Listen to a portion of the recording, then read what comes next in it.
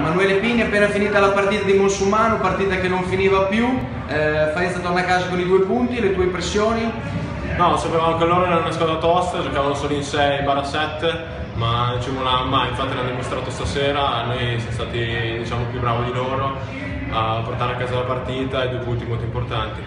Sì, diciamo che buon viatico per un'altra trasferta che sarà domenica prossima a Rimini. Sì, è un'altra partita importante perché comunque è un'altra fuori casa e dopo questa vittoria siamo molto carichi.